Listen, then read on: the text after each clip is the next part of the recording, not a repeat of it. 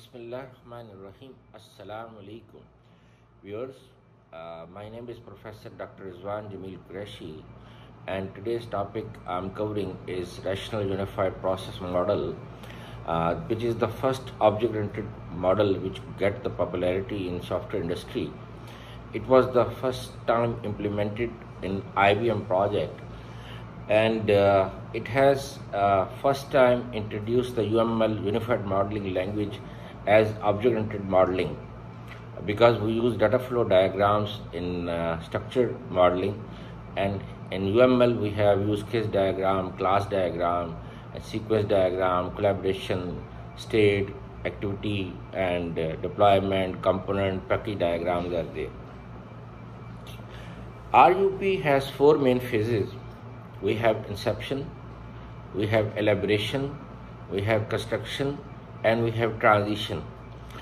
But we have another cycle is there in, you, in which you have activities, communication, planning, modeling, construction, and deployment.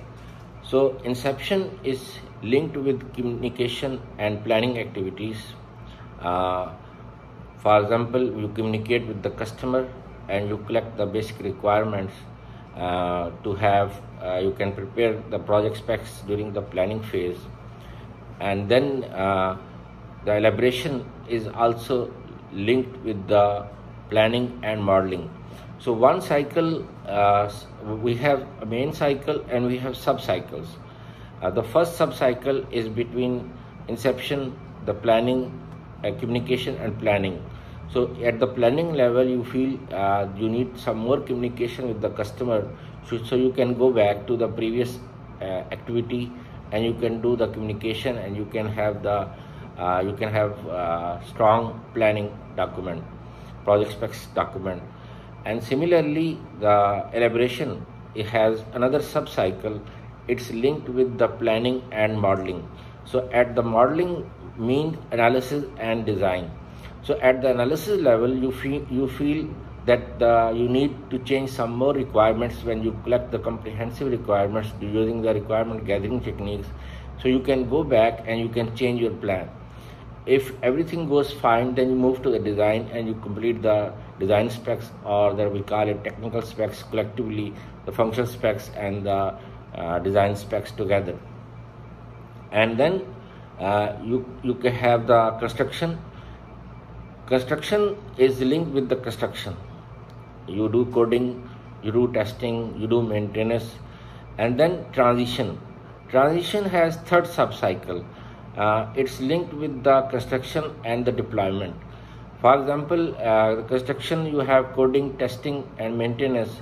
The testing involves unit testing integration testing system testing the acceptance. Acceptance uh, the alpha you do and then the deployment is the beta.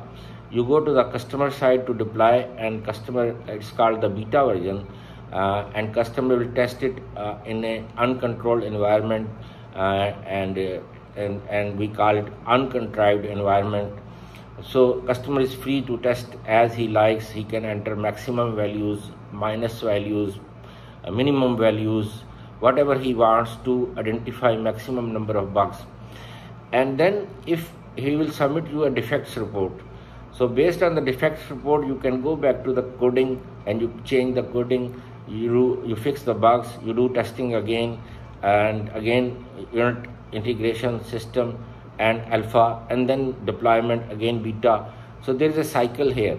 And this cycle is continuous until customer customer approves the beta and then you release the final version and then the next iteration is there so you have uh, main uh, there are if you cross cut the RUP model, you have horizontal activities and you have vertical uh, activities.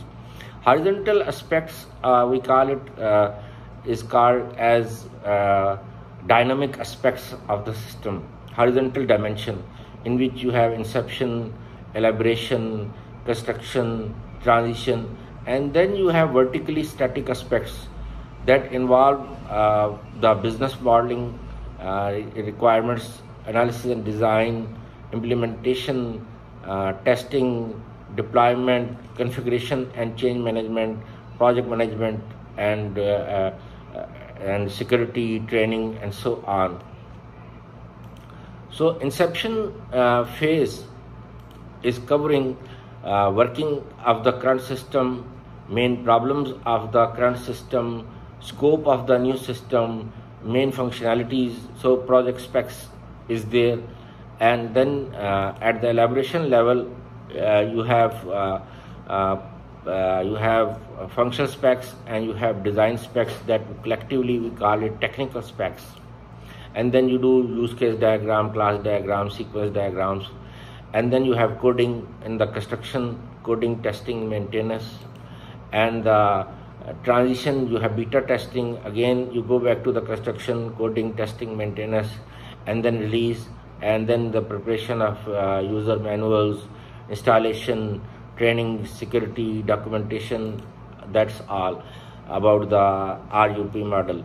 Uh, main advantages uh, we have very strong architecture and we have high quality software uh, because you are covering all aspects of the system in terms of use cases, uh, class, the static aspects. Then you have sequence diagram, state diagram, activity diagram, swim lane, transition diagram, component diagram, deployment diagram, package diagram.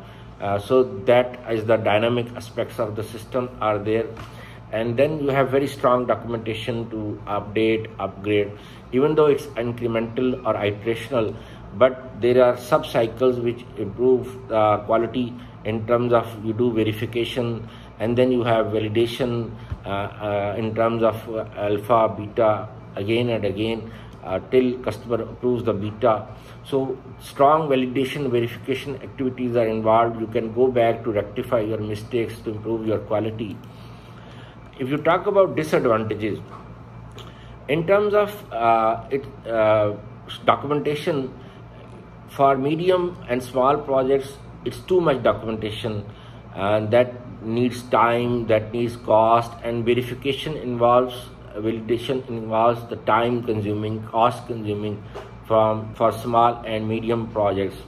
And it's not suitable for safety critical projects because uh, safety critical projects demands to freeze the requirements and very strong uh, in terms of uh, architecture in terms of analysis and design you don't change the design uh, frequently but in it's it's uh, according to the requirements of commercial projects it's the best suitable.